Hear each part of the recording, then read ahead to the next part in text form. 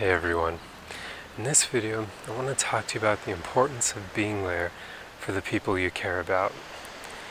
You see, a lot of us are used to receiving help from other people when we need it, especially the people we care about the most.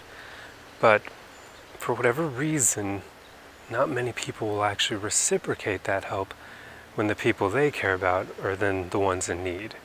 And I've experienced this a lot of times in my own life, and it's really unfortunate because I've lost a lot of good people out of my life because of this behavior, where I've always been a giver, and unfortunately, givers tend to surround themselves with takers.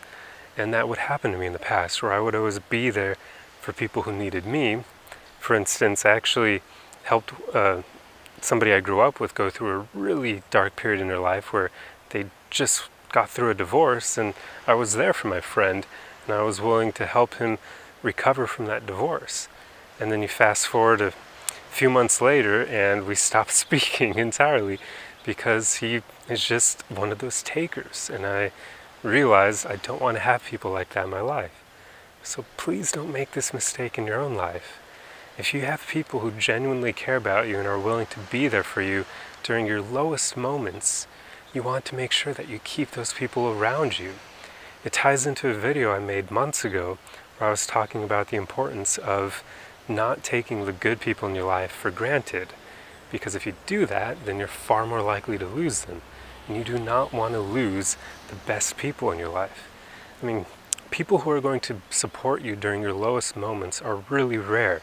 Not many people want to take on that burden, that those heavy feelings that other people experience because it, it, can be uncomfortable. We all know that empathizing with someone who's going through hell can be really uncomfortable for us because by definition empathy means you're pretty much going to feel the same emotions that they're feeling and if you're already in a great place you may not want to feel that way. So it's rare to find people who will be willing to empathize with you during those moments. So when you find them, please reciprocate for them. When they start going through hell on, in their own life, be there for them, support them. One of the biggest things here is to listen with the intent to understand. They may just need somebody to talk to them. They may just need somebody to vent about the situation with. So all you may need to really do is just provide a listening ear for them. And that may be enough to help them. You never know.